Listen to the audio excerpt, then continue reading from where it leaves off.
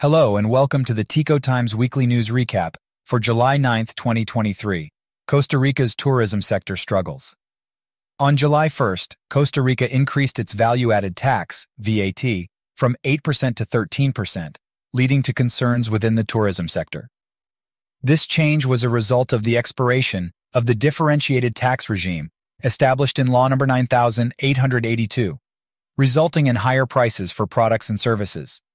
This may potentially reduce the country's competitiveness compared to other regional nations. Industry representatives, including Shirley Calvo from Canatur, acknowledge being aware of the VAT increase, but express concerns about the unfavorable timing. Alvaro Arguedas from ACOT hopes that authorities will understand the challenges faced by the tourism sector, which is still recovering from the pandemic's devastating effects. Stakeholders emphasize the need for comprehensive solutions to address the industry's challenges and facilitate a full recovery. Accused former Costa Rican president, former Costa Rican president Guillermo Solis, has been accused by the Attorney General's office of harming the public treasury during his administration from 2014 to 2018.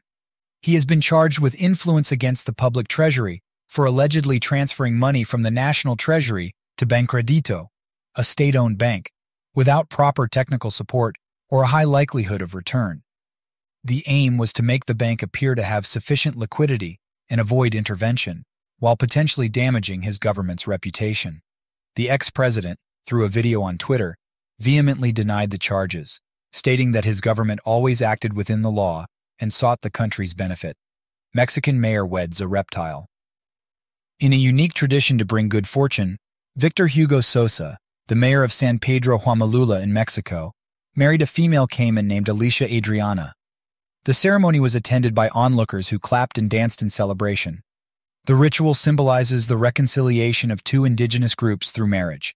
Before the wedding, the caiman is taken from house to house for residents to hold and dance with. During the ceremony, the mayor pledged his fidelity to the princess girl, according to local lore. The festivities included traditional music, and the mayor sealed the ceremony with a kiss on the caiman's snout.